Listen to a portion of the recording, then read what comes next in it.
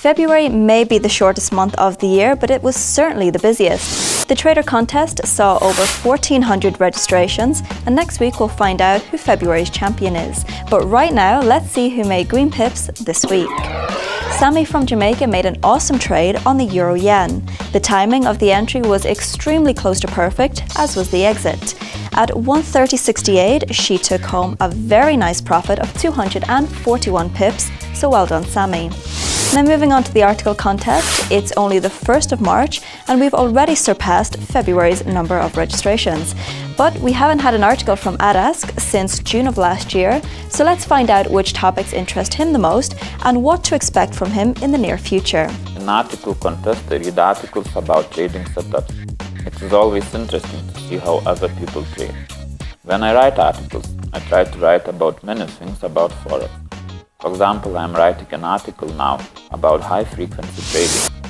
Now, the strategy contest member Panzer had the most discussed trade this week. 5 likes, 13 comments and 153 pips profit on the euro yen. And here's an insight to his strategy.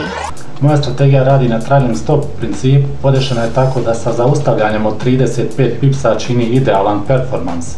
Nakon svakog poteza cijene od 35 pipsa pa do 90 pipsa slijedi obrat cijene trenda, a to znači da strategija nakon svakog prethodnog zatvorenog baca novi nalog. Obično u kontra smjeru što mojoj strategiji daje izvršenja čine od 70 do 80% uspješnim.